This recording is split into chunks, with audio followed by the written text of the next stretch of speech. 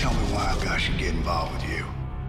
I'm all you got. I work for you. I won't need a lawyer. I'll need a priest. We need something substantial. There's a hit list. And you, sir, you were number two on that list.